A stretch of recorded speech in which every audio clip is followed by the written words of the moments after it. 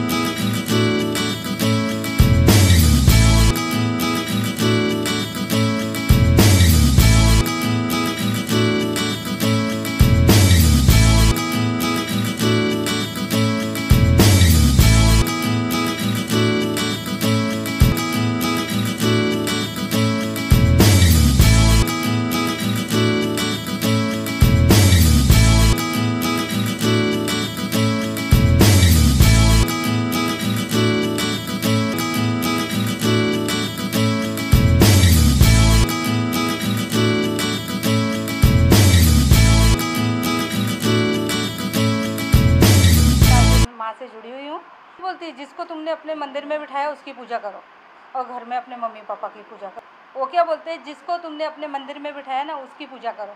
मैं और रूप में तुम्हें दर्शन दूँगी। आपने ऐसे ही भक्तों के थ्रू भक्तों ने बोला तो हम दर्शन करने गए। बस दस बारह साल से माँ से जुड़े हुए हैं जो चाहिए वो मिल जाता है। आप जब एक बार अच्छा लगा उनका दर्शन करने ही अपने को शांति मिली। अच्छा लगा। आप क्या राजू जी कैसे जा कर गए। लेकिन उसके बाद मैं कंटिन्यू रही माँ से जुड़ी रही।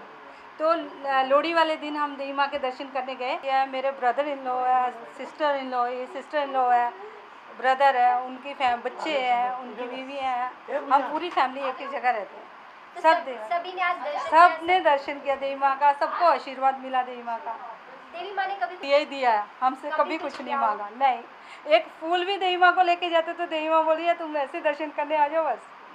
के दर्शन बहुत अच्छी से हुए राधे माँ बोलती हैं कि सिर्फ़ ह्यूमैनिटी पे बिलीव करो अपने माता पिता की सेवा करो वही उनके लिए बहुत बड़ा काम है। और आप कभी भी दर्शन के लिए अगर आएँ तो आपको इतनी अच्छी वाइब्स आएँगी वहाँ जाकर तो आपको बहुत खुशी मिलेंगी और आप बार बार आते रहेंगे। उनकी तरफ़ से कोई अ, मांगा कुछ मा- वो नहीं है डिमांड जो मांगो मिल जाता है। जो मांगते हैं हमें वो हम वो हमें देती हैं हम उनको कुछ नहीं देते हैं। दर्शन किए हुए हैं। आज स्पेसिफिकली दर्शन के लिए आई हूँ। बेस्ट पार्ट ये है कि हमें उन्हें बताना नहीं पड़ता कि हमें क्या चाहिए या क्या जानना है या क्या पूछना है। वो हम, वो खुद हमें देखकर बता देती है कि यस ये है इनकी डिमांड और वो हो जाएगी पूरी। और उन्होंने आज तक हमसे कोई मांग नहीं की। सिर्फ़ हमें आशीर्वाद दिया है और हमेशा आशीर्वाद आगे भी देंगे। करती है, अगर हमें कोई प्रॉब्लम है तो हम उनसे शेयर कर सकते हैं और वो हमें उसका सुझाव भी देती है। और उसी प्रकार में आशीर्वाद भी देती है और हमेशा यही बोलती है कि माँ बाप की इज़्ज़त करो। तो आप